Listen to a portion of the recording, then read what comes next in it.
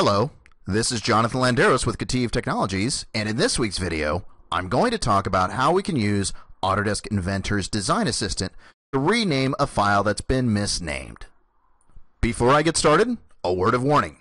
If you're using Autodesk Vault and the file is checked into Vault, use Vault's rename tool to rename the file. You'll have file resolution issues otherwise. However, if you haven't checked the file into Vault, or you're not using Autodesk Vault to manage your data, then it's game on. This can be a really great tool to help you out. So now, let's talk about what we're going to do. Here I have my project. It's a prairie style sofa in this case. And I've made a mistake.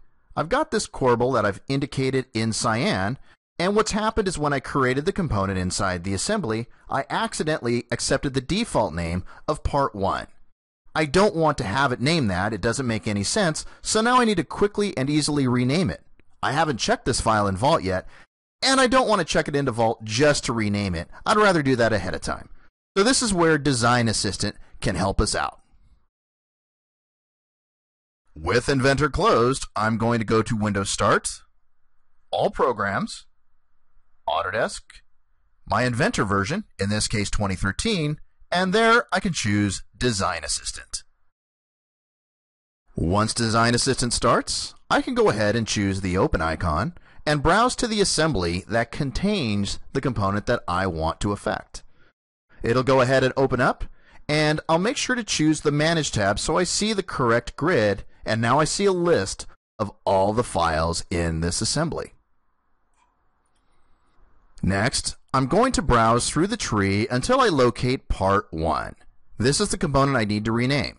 To begin the process, I'll right click in the cell under the action column and choose rename as my option.